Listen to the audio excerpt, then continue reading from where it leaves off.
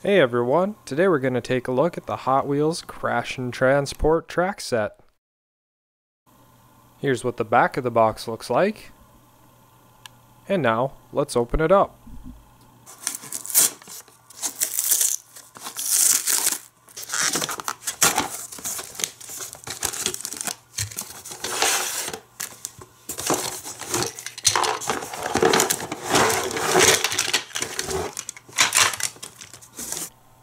Inside the box we get all the pieces that need to be assembled.